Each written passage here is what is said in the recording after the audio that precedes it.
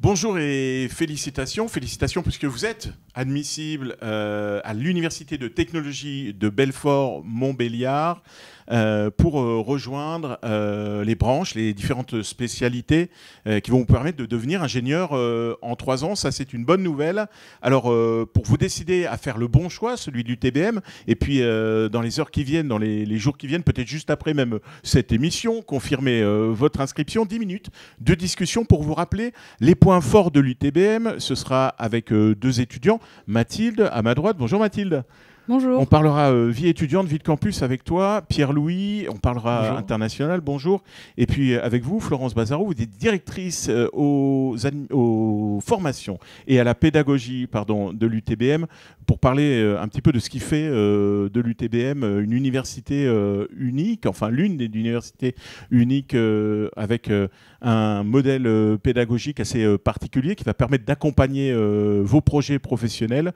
L'université technologie de Belfort-Montbéliard, on le rappelle, qui est l'une des, universités, l'une des quatre universités de technologie en France, euh, à taille humaine, euh, située sur un bassin industriel historique entre euh, le transport avec Alstom, l'énergie de puissance, General Electric, l'hydrogène, les transports avec Alstom, connecté à la Suisse et à l'Allemagne, au milieu de l'Europe, à 2h15 de TGV de Paris, entre la Suisse et le Jura, un écrin de, verdure, bref, le meilleur endroit du monde hein, pour faire ses études et devenir ingénieur, Florence, et puis je le disais, avec un modèle euh, pédagogique qui est euh, assez euh, particulier et, intéressant pour les, étudiants qui vont nous rejoindre.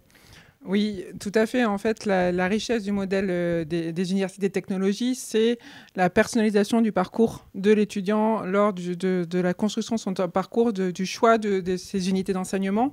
C'est-à-dire que chaque étudiant, quand il arrive, va avoir accès à plusieurs euh, unités d'enseignement, à plusieurs modules, et puis il va pouvoir choisir deux, trois, quatre modules qui l'intéressent, et petit, et petit à petit, comme ça, chaque semestre, construire son, parcours.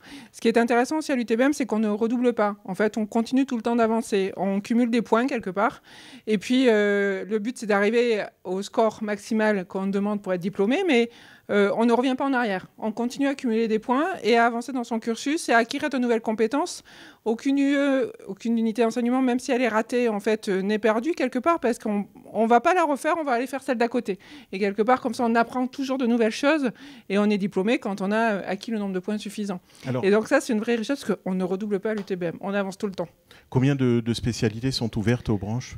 Alors, euh, dans formation d'ingénieur, donc on a cinq formations d'ingénieurs sous statut étudiant, quatre formations d'ingénieurs sous statut apprenti, et donc ils vont couvrir des disciplines, donc vous le savez puisque vous avez candidaté, mais on a la mécanique, l'informatique, l'énergie et le génie électrique, euh, mécanique et transport, et puis génie industriel en formation sous statut étudiant, et puis en apprentissage, on a la logistique, l'informatique, l'énergie, génie électrique également, et puis la mécanique et le transport. Alors, vous parliez du choix euh, des UE, d'un projet, je dirais, euh, sur mesure. Hein, c'est ce qui fait euh, la force du modèle UT. Et puis, il y a aussi l'accompagnement, puisqu'on est une université à taille humaine, je l'ai dit. ça, c'est important aussi. Oui, en fait, ce qui est bien à l'UTBM, c'est qu'on est dans des petits effectifs. On est université, mais on est quand même dans des petits effectifs. Un amphi, c'est maximum 100 étudiants, mais la majorité des amphis, on est entre 28 et 50 étudiants.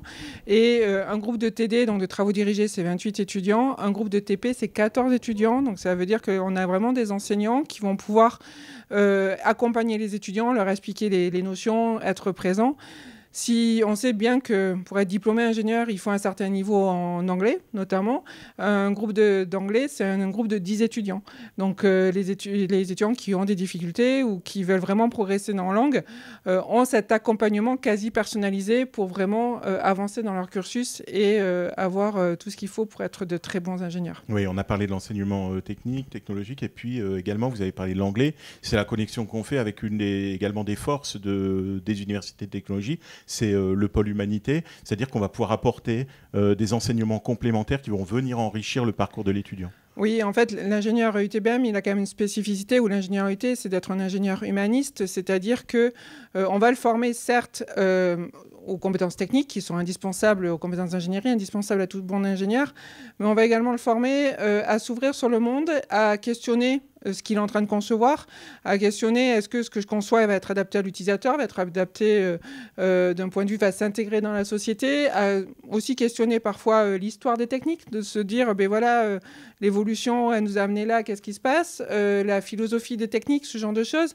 Et puis, un pan de plus en plus important aussi dans notre enseignement, qui est tout ce qui est transition et soutenabilité, avec la prise en compte des enjeux environnementaux, où on va vraiment essayer, dans chaque projet, dans chaque dans chaque enseignement, de plus en plus d'enseignants le rajoutent dans, vraiment dans, chaque cours, de ben voilà, quand je conçois tel dispositif, qu'est-ce qui se passe au niveau de l'impact environnemental? Et donc ce sont des choses qui sont intégrées pleinement dans de plus en plus euh, de, nos cours et où les, les, enseignants se forment, euh, progressent vraiment sur ces questions, souvent questionnés par les étudiants qui sont très sensibles à la question. Et donc il y a des débats, il y a des échanges dans les cours sur ces questions-là pour vraiment que euh, on forme des ingénieurs qui certes, euh, sont très compétents techniquement, mais qui prennent aussi en compte les conséquences de ce qu'ils sont en train de concevoir sur euh, l'environnement, la société, euh, de mmh. manière générale. Oui, l'UTBM signataire de la charte de l'accord de Grenoble, hein, suite à la COP 2 étudiante d'ailleurs, c'est une proposition étudiante dont l'UTBM a souscrit. On parlait des langues. Combien de langues enseignées à l'UTBM? euh, huit langues enseignées à l'UTBM. Donc, on a euh, du français langue étrangère. Donc, si vous êtes internationaux, n'hésitez pas non plus à venir. On peut vous accompagner pour euh, progresser en français. bien entendu, de l'anglais, de l'allemand, de l'espagnol, du chinois, du coréen. Voilà. Donc, on a aussi des langues de l'italien. On a des langues diversifiées et avec des langues asiatiques où parce qu'on a quand même beaucoup d'étudiants qui sont très intéressés par ces questions-là. Et puis, bien sûr, les langues européennes qui nous permettent aussi d'envoyer beaucoup de nos étudiants à l'international, puisque c'est aussi un enjeu du diplôme d'ingénieur. Et eh ben voilà. Et Pierre-Louis, euh, merci Florence. Euh, vous, vous êtes allé euh, à l'international. Florence, rapidement, l'international, pour les gens qui vont nous rejoindre, c'est une, une expérience obligatoire sur, le, sur la fin du cursus Une opportunité, je dirais. Alors, c'est une, une obligation, parce que pour être un ingénieur, il faut avoir une capacité à travailler à l'international. Ça fait partie des compétences que doit acquérir un ingénieur. Travailler dans un contexte multiculturel, dans un contexte international et, euh, mais c'est une vraie opportunité. Et à l'UTBM, on, donne l'opportunité à nos étudiants de partir à minimum, minimum 18 semaines, euh, que ce soit en semestre d'études avec nos universités partenaires, qui sont en Europe avec des programmes Erasmus, mais également dans le monde entier, euh, ou lors de stages, puisqu'il y a deux stages longs à l'UTBM, c'est également une richesse, deux stages de six mois. Et donc, les deux stages peuvent également être faits à l'international. Alors, Pierre-Louis, justement, toi, tu es étudiant en en euh, mécanique et ergonomie. Mécanique et ergonomie, en quelle année? Euh, c'est, euh, Je suis en bac plus 4 actuellement, c'est la deuxième année de branche. Deuxième année de branche, oui. Et donc toi, tu as réalisé ton premier stage Je l'ai fait en France. par contre, précédemment, je suis parti en Erasmus sur ma partie tronc commun, un peu plus tôt, ce qui m'a donné goût à l'étranger. C'était dans quel coin? J'étais parti en Lettonie, à Riga. Euh, pour un semestre d'études dans une université partenaire. Et comme euh, l'a dit Florence euh, juste avant, en fait, c'est le minimum, mais pas même le maximum. Ça me donne envie et je pense que par la suite, sur mon stage de fin d'études, j'essaierai de repartir et de partir de nouveau à l'étranger. Ouais, le stade de fin d'études de, six mois là, qui s'annonce. Est-ce que tu as une idée du, projet ou du pays que, que tu Pas encore. Euh, je pense que c'est cet été, ça va s'intensifier euh, mes recherches. Je pense que j'aimerais bien partir dans un pays de l'Union européenne. C'était assez facilité le départ euh, grâce à ça. Pour autant, pour l'instant, je ne suis pas arrêté sur un pays en particulier. Voilà, on, parlait de, parle d'Erasmus, mais on parle énormément de, partenariats qui sont noués euh, à travers le monde. Plus de 220 universités, 250 universités partenaires euh, pour l'UTBM, plus de 10 000 entreprises, hein, membres du réseau euh, des entreprises de l'UTBM, avec un réseau d'alumni de plus de 14 000 alumni. Le, choix hein, pour trouver son stage ou, son emploi, et puis être guidé, accompagné par l'équipe pédagogique également, c'est ça? Tout à fait, que ce soit en stage ou pour trouver une université partenaire. On a des équipes qui sont là, qui vont nous accompagner sur les demandes de bourse, sur les, parfois même les logements, qui vont nous mettre en contact avec euh, d'anciens étudiants qui sont passés par là. Euh, c'est une aide qui est précieuse et euh, qui facilite vachement en nous retirant un poids lors du départ. Donc l'international, bon point pour l'UTBM pour toi Tout à fait. Ouais. Et Mathilde, deuxième bon point peut-être, la vie étudiante. Toi Mathilde, tu es en, quelle spécialité? Moi je suis en génie industriel. Quelle année? Je suis comme Pierre-Louis en quatrième année. D'accord. Donc du coup deuxième année de branche. Et alors toi, je voulais que tu nous parles un petit peu, bah, puisque les gens connaissent peut-être pas hein, les campus, euh, l'UTBM, à quoi ça ressemble la vie de campus, euh, la vie étudiante? Et ben, l'UTBM, du coup, il y a trois campus. Donc, il y en a un sur euh, Belfort, un sur Sévenant et un sur Montbéliard. Euh, sur Sévenant, ça va être plus euh, les troncs communs et la filière génie mécanique et génie industriel. Sur Montbéliard, ça va être la filière mécanique ergonomie. Et sur Belfort, ce sera du coup la filière informatique et la filière énergie, génie électrique. Et pour ma part, du coup, je suis à Sévenant. Et donc j'ai fait toute euh, ma scolarité pour l'instant UTBM à Sévenant. Et euh, le campus est, vraiment bien, très agréable, euh, au sein d'un écrin de verdure au bord de la rivière. vraiment, c'est idyllique. Et les locaux sont très agréables. Et puis il y a beaucoup, la vie étudiante est très dynamique, malgré le fait qu'il y ait quand même trois campus différents, on arrive toujours à se retrouver et, et à faire des choses sur les trois campus. Et puis dans les maisons étudiantes, les différentes soirées et puis, euh, toi, tu as la particularité également d'avoir été investi dans l'association des, étudiants, c'est ça? Euh, Ouais, alors moi, j'ai fait euh, ce qu'on appelle des grandes activités. et du coup, je, me suis retrouvée à, organiser un, festival de courts-métrages qui a lieu tous les ans à l'UTBM.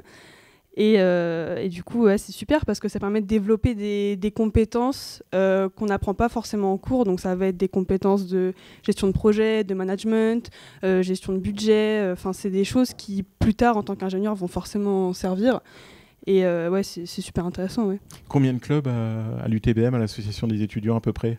Ah, on me dit dans l'oreillette euh, plus de 50 clubs, ah je pense. De, oui. de, quel ordre Club sportif? Il y a le bureau des sports d'abord, et puis il y a l'association étudiante. Le bureau des sports, énormément de, sports pratiqués. Des terrains, un terrain de un city stade là, tout neuf euh, euh, à, à, Sévenant. Et puis différentes activités. Ça va de l'apiculture jusqu'à jusqu'aux voitures de solaire. Enfin bon, c'est. ce qui est bien avec, l'association des étudiants, c'est que si vous avez envie de faire quelque chose, bah, vous le faites. Et il faut, faut créer, on peut chacun créer l'activité qu'il a envie de faire, que ce soit même euh, sportive ou, j'ai envie de dire plus euh, loisir, comme tu as dit, euh, culturel, etc. Voilà. Puis ouais, c'est vrai qu'aussi avec le bureau des sports, il y a quand même pas mal d'activités, il y a aussi des compétitions, enfin il y a beaucoup de choses qui sont mm. organisées, beaucoup d'événements. Et puis il y a l'intégration également hein, au mois de septembre, hein, peut-être que vous allez y participer, une université à taille humaine, une bonne ambiance. C'est ce que tu dirais? Ouais, ouais. Tu votes pour? Ouais, ouais, carrément. On s'y sent bien et ouais, plein d'activités. Franchement, euh, on s'ennuie pas, quoi. Allez, voilà. Mathilde.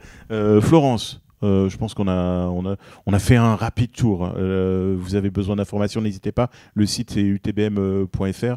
Il y a le service des admissions aussi qui est, qui est bien évidemment disponible. les prochaines étapes, Florence, aujourd'hui? La prochaine étape, en fait, elle est la confirmation que vous voulez bien nous rejoindre. On espère que vous allez nous rejoindre parce que, voilà, comme on l'a dit, on, est une université euh, qui vous attend avec euh, impatience et intérêt pour euh, participer à votre formation. Et donc, la prochaine étape, c'est le 30 mai, où on vous demande, si possible, de répondre à cette date-là. Alors, on sait que vous attendez d'autres réponses, on sait qu'il y a des concours, il y, a plein de choses. Donc, surtout, n'hésitez pas, si vous avez besoin de délai, si vous ne si vous savez pas trop ce que vous voulez faire, faites-nous un petit mot, expliquez-nous votre situation. On trouvera les solutions avec vous. Est-ce qu'il y a une adresse email? Euh, Oui, service admission, c'est l'adresse qui envoie les, les courriers que vous ben avez reçus. Voilà, euh, N'hésitez pas à écrire un petit message si vous avez une quelconque euh, question. Et, puis, et puis voilà, nous tenir au courant de vos envies, de vos projets, et on trouvera des solutions. Et puis, si vous pouvez une réponse en le 30 mai, c'est l'idéal. Et eh ben voilà, vous, avez, vous, avez, vous savez tout euh, désormais, vous avez toutes les, bonnes adresses. Et puis, euh, reste à faire de l'UTBM un bon choix. Mais je pense que ça, euh, tout le monde est, est convaincu ici. Merci en tout cas. Allez, à très bientôt. Bye bye. Et que vive l'UTBM.